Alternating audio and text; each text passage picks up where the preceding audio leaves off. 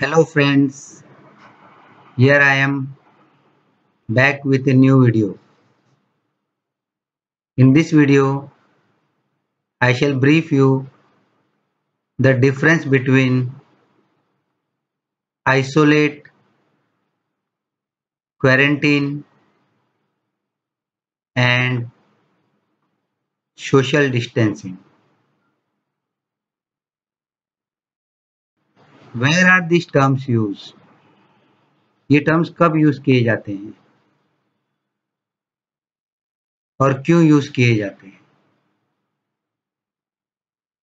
So let's begin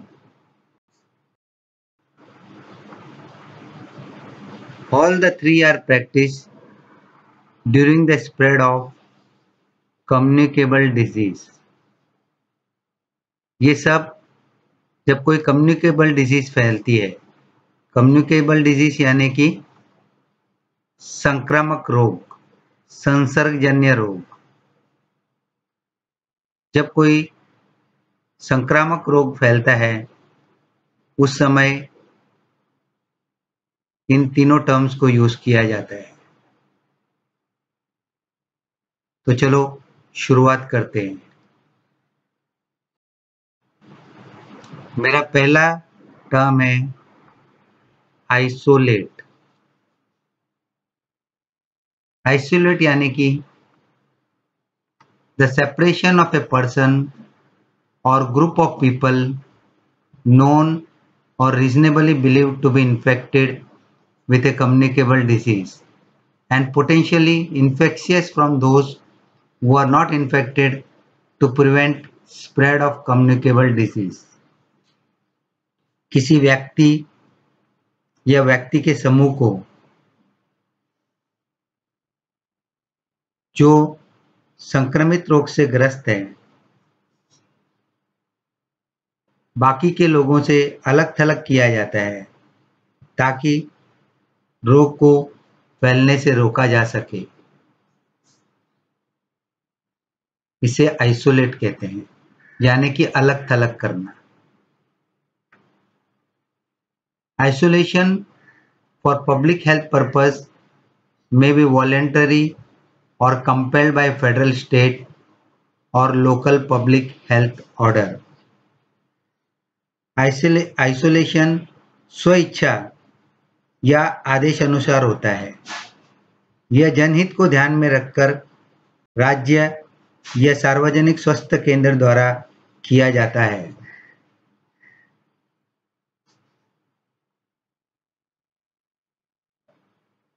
in general separate sick people with a contagious disease from people who are not sick. अमूमन isolation का मतलब होता है बीमार लोगों को स्वस्थ लोगों से अलग करना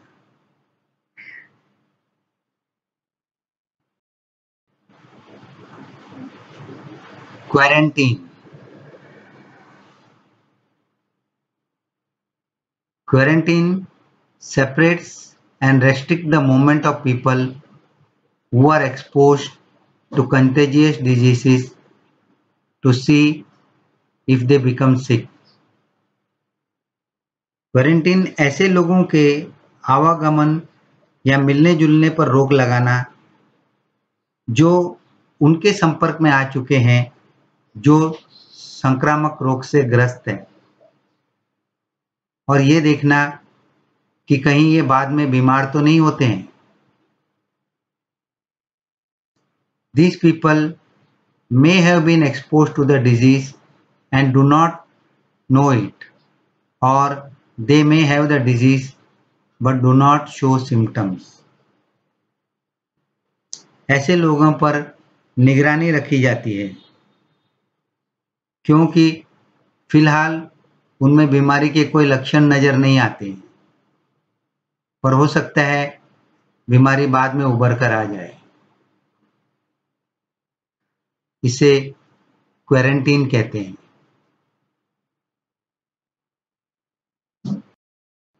तीसरा है social distancing. Social distancing measures often entail cancelling big gatherings such as conferences, classes, and sporting events, restricting mass transit and travel, and working from home. Social distancing में इस बात का ध्यान रखा जाता है कि झुंड या समूह से अलग रहो जैसे कॉन्फ्रेंस क्लासेस खेलकूद, इन सबको रद्द किया जाता है। यात्रा पर रोक लगाई जाती है। और ऑफ़िस के काम को घर से करने की हिदायत दी जाती है।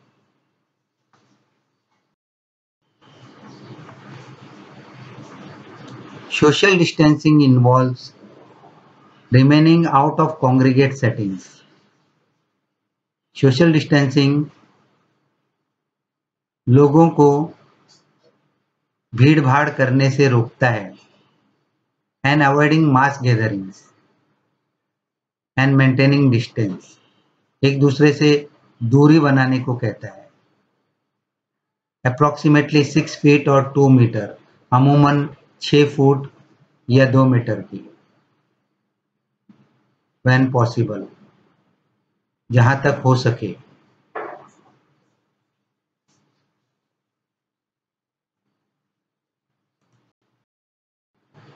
ये सारी हिदायतें तब दी जाती हैं जब कोई बीमारी जो एक दूसरे के संपर्क में आने से फैलती है। उसको रोकने के लिए आइसोलेशन क्वारंटीन और सोशल डिस्टेंसिंग का प्रयोग किया जाता है। So friends nowadays this is very essential stay safe stay at home thank you friends if you find the video nice subscribe for it and don't forget to press the bell icon give a like to it and wait for my coming videos for more details visit my youtube channel Ikta Skills and improve your English knowledge. Thank you. Keep learning have a nice day.